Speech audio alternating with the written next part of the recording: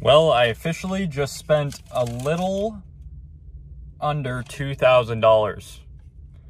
What am I doing? That's it right there. Total 1976. But I can say that content is going to be so much better because of this item. When I get back home, I'll show you guys. Get ready.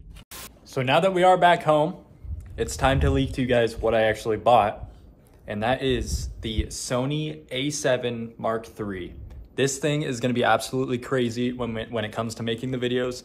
And just in this video, I'm actually gonna be using it in the next clip. So now that we are in the car and we are ready to go, we are gonna go test out this new camera. We're gonna go to the photo shoot spot. We're gonna take some pictures and some videos. And we're gonna see how this thing looks. I'm so excited. Let's get to it.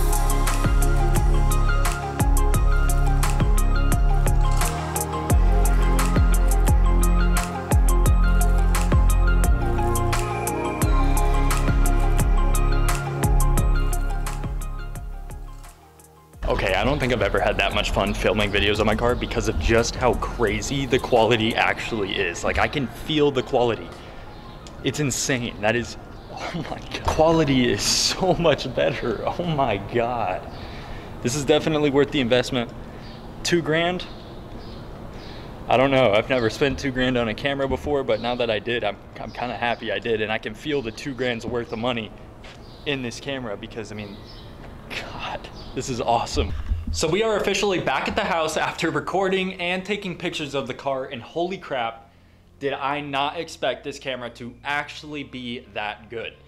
Don't get me wrong, it is a $2,000 camera, but I didn't expect this because I've been recording with the camera I've had for, you know, two and a half years and I only spent 160 bucks at a pawn shop for it. So this literally changes the game completely. And I genuinely am at a loss of words.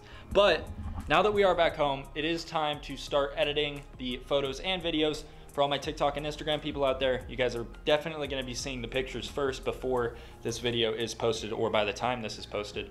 You've probably already seen them, but let's go ahead and start editing those up and uh, I'll catch you guys there.